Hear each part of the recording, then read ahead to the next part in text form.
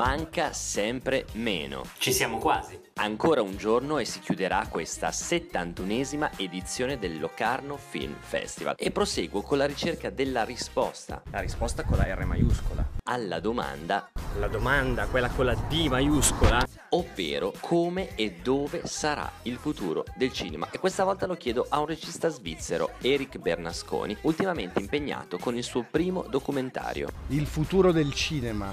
Io intanto credo che il futuro starà sempre e comunque nei contenuti.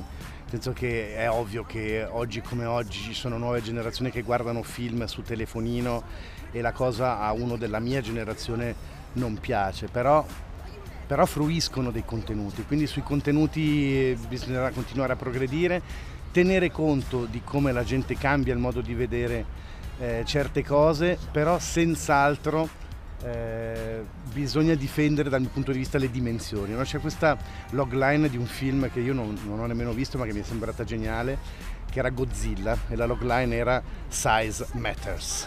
no? E le dimensioni contano, quando già dal primo cortometraggio che tu fai e che poi ti trovi per fortuna eh, a vedere proiettato su uno schermo grande, vedi che cambia la narrazione con le dimensioni. Quindi io credo che il cinema non morirà. Ecco, questo è solo un piccolo assaggio di quanto mi ha detto Eric. Se volete vedere l'intervista integrale, vi basta andare sulla mia pagina pubblica di Facebook. Oltre a ciò, proiezione in concorso del film Wintermarchen, un film potentissimo, assolutamente disturbante, stimolante come non ne vedevo dai tempi di Funny Games nella versione originale austriaca. A me piace prendere i commenti a caldo, come stai?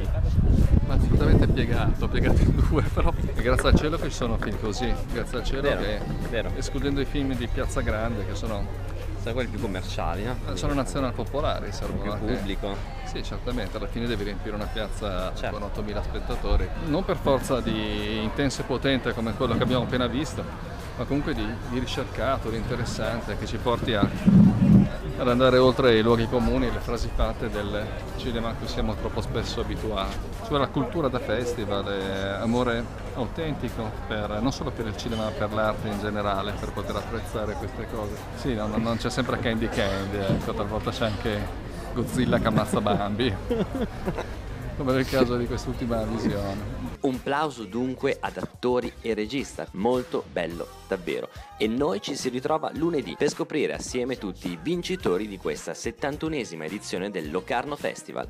Non è che state pensando che ci sono camicie migliori, vero? Everybody,